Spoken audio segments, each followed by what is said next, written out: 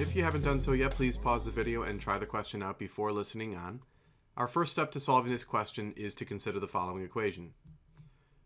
So in this equation, we have R naught and T naught. These can serve as reference values for both the resistance and the temperature. And those values were given to us in the question. This 30 ohms right here could serve as our R naught, and then the 20 degrees Celsius can serve as the T naught. So again, those are just reference values. They then warm up the temperature, and what that does is it increases the resistance to 46.2 ohms. So that's going to serve as the resistance for this value right here. Our challenge is to find the temperature at which that resistance is achieved. So we're actually looking to solve for this temperature T. And to solve this equation for T, we're going to have to do some algebraic maneuvering. So why don't we slide the equation over to the middle of the screen.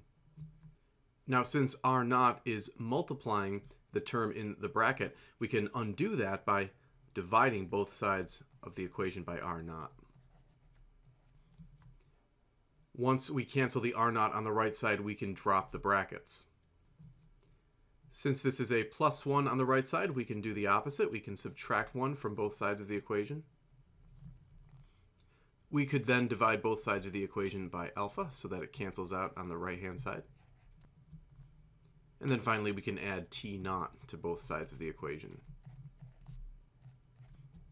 So we have successfully solved the equation for this temperature T that we're looking for. Recall again that the 30 ohms and the 20 degrees Celsius, those are going to be the reference values, so we're going to plug them in for that resistance and that temperature respectively. The other resistance was the 46.2 ohms. Finally, we need to look up the temperature coefficient of resistivity. That's going to be a value you can find in a table that's published in your textbook chapter. So for the particular wire in this case, which is aluminum, we have an alpha of 3.9 times 10 to the minus 3 degrees Celsius raised to the negative 1. So we can now plug in all the known values.